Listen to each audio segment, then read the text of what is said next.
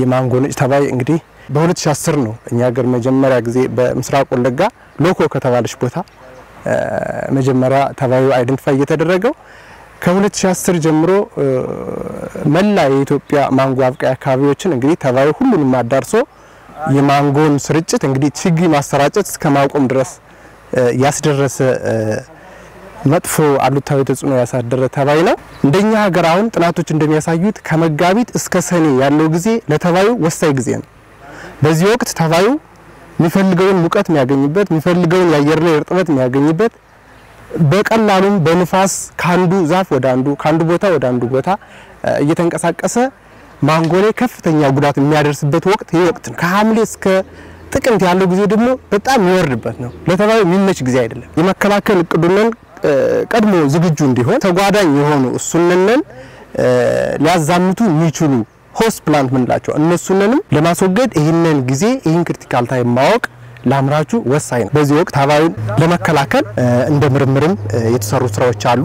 እንደ ሀገር አሁን የተሰሩ ስራዎችን ብናይ በተለይ የመገረዝን ወይም ደግሞ ማሳሳት ስራን ከተለያዩ ኬሚካሎች ጋራ በማቀናጀት ተባዩን እንግዲህ መቀነስ እንደሚቻል ብዙ ጥናቶች ያሳያሉ። አሁን የኛ ሀገር ዛፍ ላይ በተለይ ማንጎ ዛፍ መትከል እንጂ ዛፍ management የሚለው ላይ በጣም የደከመ ባህል ነው ያለው። የዛፉን ጤንነት መጠበቅ ነው።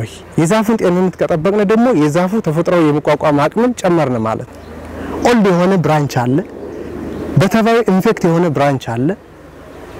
እንደገና ደግሞ በጣም dense የሆነ ጥቅጥቅ ያለ branch አለ። ያንን በማስወገድ ለተባዩ ምቹ ሁኔታ እንዳይፈጠር የምናደርግበት ጊዜ ነው እና ይህን ካደረግነ ዛፉ በራሱ ጤንነቱን ጠበቅንለት ማለት ነው። ከ management ኡ በተጨማሪ ደግሞ እንዲሁ ውሃም ያስፈልገዋል። ዛፉ ጫና ውስጥ መግባት የለበትም።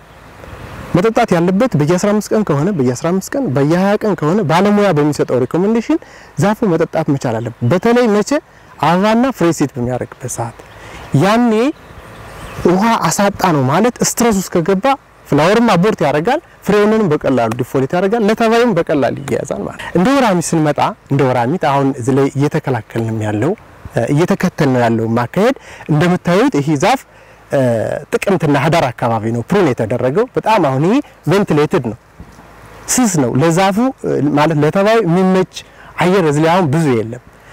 ይህንን በዚህ ልክ ፕሩን ካደረ ወይም ደግሞ ከጎነደልነ በኋላ በእኛ በወራሚት ንዑስ ግብርና ምርምር ማዕከል ተፈትሾ ለተባዩ ይሆናል ተብሎ የተዘጋጀ ከአካባቢ የሚገኝ ሁለት እጅ ዘይት ከአንድ እጅ የፈሳሽ ሳሙና በመቀላቀል የተባዩ ጫና ከፍተኛ ከሆነ በየ15 ቀኑ ጫናው ደግሞ ያን ያህል ካልሆነ የግድ ምክንያቱም ሁሉም branch ቅርንጫፍ ማግኘት ስለማንችል በየወሩ ቀለል ያለ ከሆነ ደግሞ በየወሩ ርጭታችን እናካሄዳለን ማለት ነው። ይህን ውህድ ለማዘጋጀት ከጀነሬተሩ ውጭ እነዚህ በአካባቢያችን በቀላሉ ማግኘት ከምንችለው ነገሮች ነው የምናዘጋጀው ማለት ነው።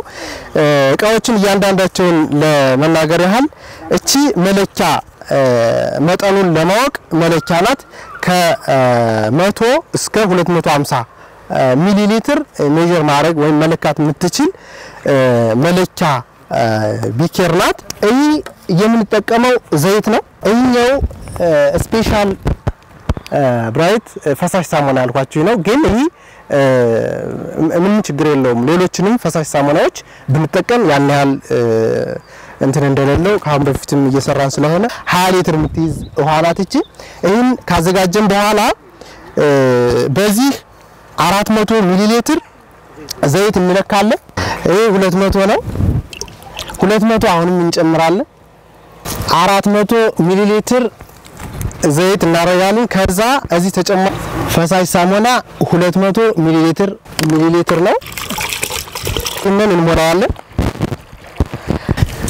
ይህ 20 ሊትር ይህንን ከሞላን እንዲገናኝ check ማድረግም እንችላለን። ግን ይሄ ራሱ ስለሚያገናኘው ያን ያህል ችግር የለውም። ከዚህ በኋላ ቀጥታ ጄኔሬተር ማስነሳት ነው። የዛፉ ቅርንጫፍ በጣም ሰፋ ያለ ከሆነ 20 ሊትር ለአንድ ዛፍ ነው ሊሆን የሚችለው። ሁሉንም ቅጠሎች የግድ ማድረስ መቻል አለብን። እያንዳንዱ ቅድም ማሳሳት ያልሁት ሁሉም መዳረስ ስላለበት ነው። ቅጠሉ በጣም ጥቅጥቅ ያለ ከሆነ ሁሉንም ስለማያገኝ እንቁላል ተስቶ ሊቀር ይችላል።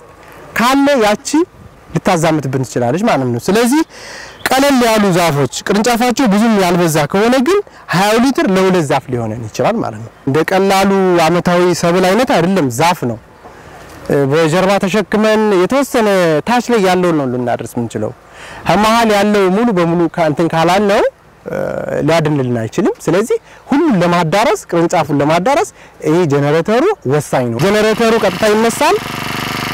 እዛ ይሄ የጀነሬተሩ መጣ 30 ሜትር ነው ርዝመቱ 30 ሜትር ነው። እንደፈለግን ወዲና ወዲህ ተንቀሳቅሰን መርጨት እንደምንችል ነው የምታዩት። አሁን ቀጥታ ወደ ርጭት እንሄዳለን።